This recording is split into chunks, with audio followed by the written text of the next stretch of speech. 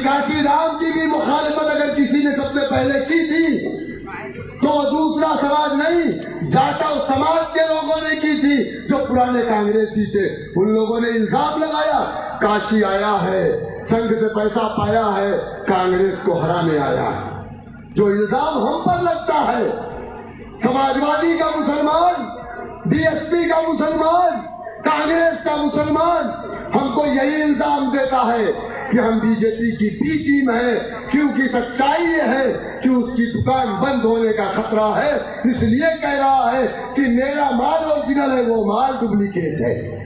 इसलिए कह रहा मेरे दोस्तों, काशीराम ने कहा कहा, सत्ता की चाबी को अपने हाथ में लो। नौजवान खड़ा हुआ। काशीराम को अपना नेता माना। बहुजन समाज को अपनी पार्टी, नीले परचम को अपना परचम। दुनिया ने देखा। महज नौ सालों में उत्तर प्रदेश के अंदर काशीराम ने अपने कौम की एक बेटी को उत्तर प्रदेश का मुख्यमंत्री बनाया कि नहीं बनाया?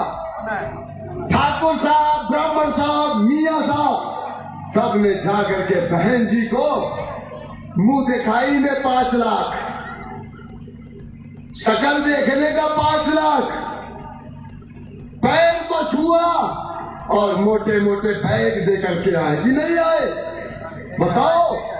जिन ठाकुरों के दरवाजों से गुजरने के वक्त जाटव समाज अपने चप्पलों को उतार लेता था। वो ठाकुर आज जाटव समाज के दरवाजे पे चप्पल उतार के उसके घर में जाता है। कोऑर्डिनेटर से कहता है, मेरा टिकट करवा देना। ये ताकत कहाँ से मिली? ये ताकत सियासत के ज़रिए से मिली। वरना कोई दूसरा रास्ता नहीं है इस लड़ाई को जीतने का। अगर आप चाहते हो कि तुम दोबारा बावकार बनो तो तुम सपा बसपा कांग्रेस को वोट देते रहोगे। खुदा की कसम डिस्पोजल गिलास की तरह सिर्फ़ और सिर्फ़ इस्तेमाल होते रहोगे। कभी पलट करके ये तुम्हारी आवाज़ नहीं बनेंगे। आपने देखा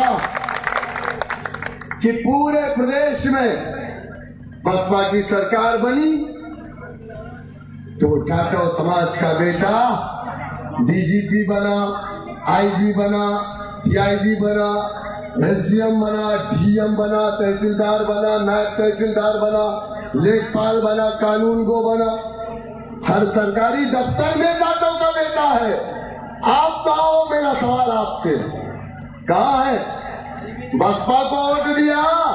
एक समाज को मज़बूत किया। आपके वोटों की भीख से बसपा की सरकार बनी, वरना ग्यारह फ़ीसद जाकर समाज अकेले सरकार नहीं बना सकता। मेरे दोस्तों, मेरे बुज़ुर्गों, अजान हो रही है। वक्त भी खत्म हो गया है। ताला फिर कभी मैं मिलूँगा। तफसीली गुफ्तगू करूँगा। मैं आप तमाम का ममनून मशकूर हूँ। बहुत बहुत शुक्रिया अस्सलाम वालेकुम रहमतुल्लाहि व बरकातहू